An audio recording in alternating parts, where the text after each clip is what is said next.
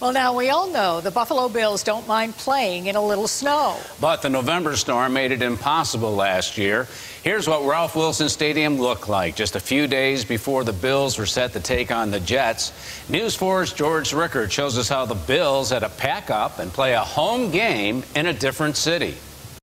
The view from high above Ralph Wilson Stadium told the story. Just five days before the team was to host the Jets, even the players had a big job digging out. We are in the snow tundra of Buffalo, New York.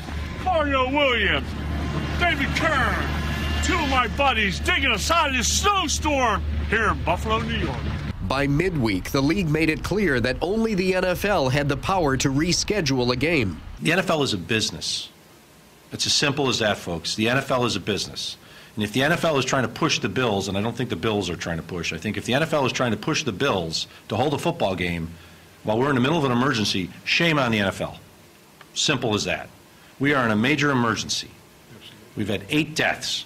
Usually, after a big storm, the Bills can pay fans to shovel out the seats. But this time, travel bans were lasting for days, and people were so busy shoveling themselves out that the effort here took a back seat. By Thursday, crews seemed to be getting the parking lots cleared. But by the end of that day, 16 more inches of snow fell on Orchard Park.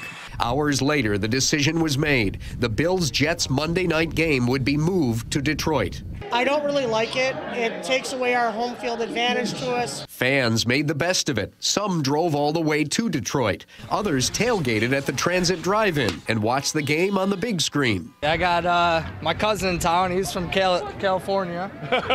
there we go. And uh, we, I wanted to give them a Bills experience, and this is the closest we're going to get. The Bills ended up beating the Jets, and in a timely salute to what Western New York endured, Scott Chandler invented what would be known as the shovel dance.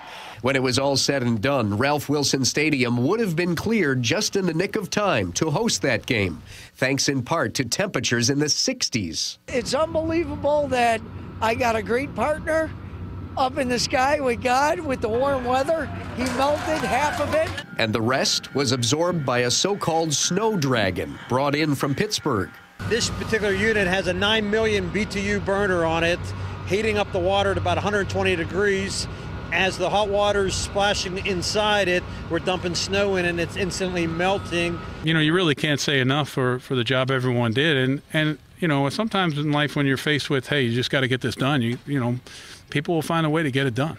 There's one thing great about Buffalo. You can slow us down, but you'll never stop us. George Rickard, News 4.